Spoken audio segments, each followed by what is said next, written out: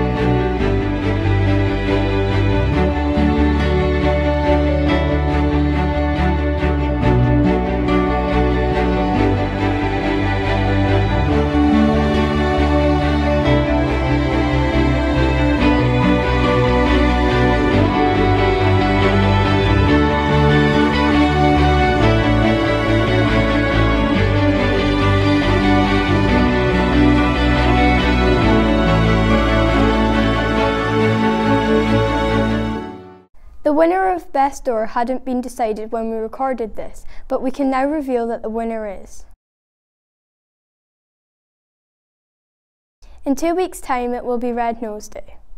Over to the Charities Group to explain more about what Brechin High School will be doing for this annual event. It's two weeks till Red Nose Day. We hope to see you there. Red Nose Day is coming up on Friday the 18th of March. There's going to be lots of fun activities to do. On Thursday the 17th of March, there's going to be a bake sale in the theatre during break and lunch. Hello everyone. Today's sign is pizza. I know, my favourite sign too. Pizza. Okay, and this is done with BSL finger spelling. So we spell out the letter P and the Z. Pizza. I know, fascinating. Might do some more letters next week. We'll see if Mr. Hutchison has time to come and visit me. Bye. Now it is time for Thought for the Week.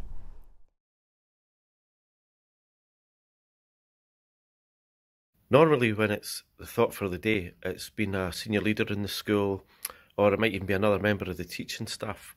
But when I speak about staff in the school, and you remember this when we talk about our school rule, follow all staff instructions, it's not just teachers, it's anybody that's in this building that's working with you.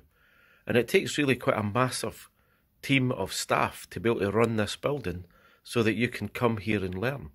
And we don't just have teachers, we've got support staff within the classes, we've got social workers that work with us, we've got community learning folk, we've got Angus Alive staff here in the building, and we've also got Tayside contract staff, we've got janitors, cleaners, and we've got kitchen staff.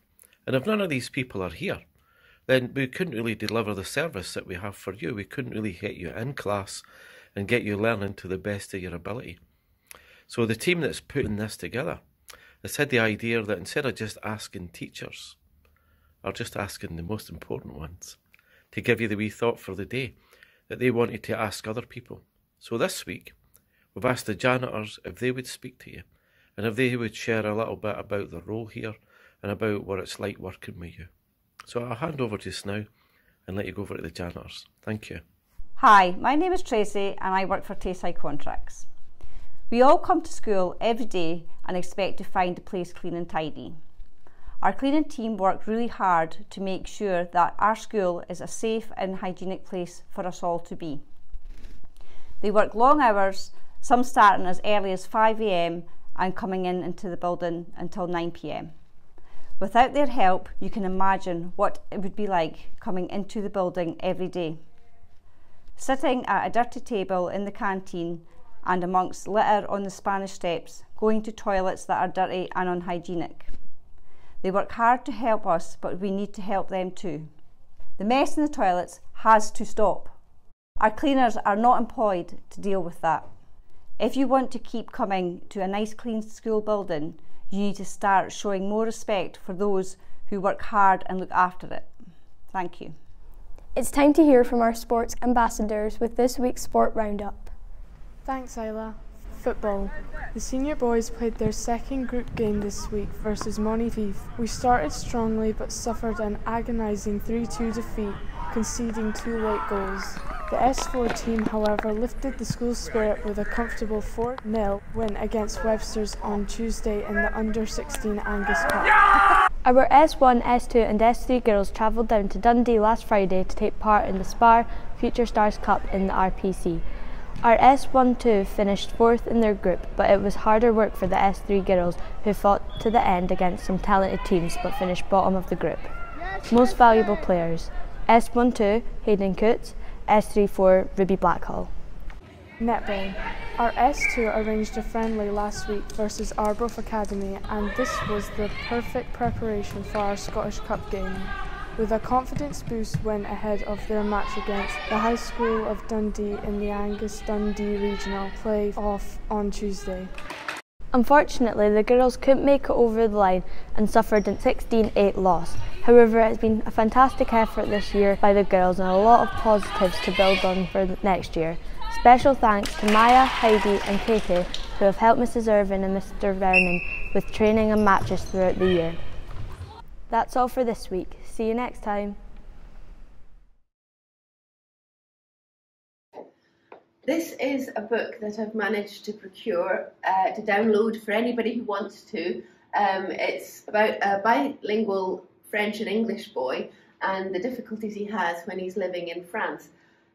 All of the text is written French on one page and English on the other, so you can translate it as you read and it's quite a nice story. I've not finished reading it myself yet, but I started it last night. It's only free to download for the next three days, so go to the link that's attached to the bulletin and get yourself a copy. Roundup. That's all for this week. Thanks for watching.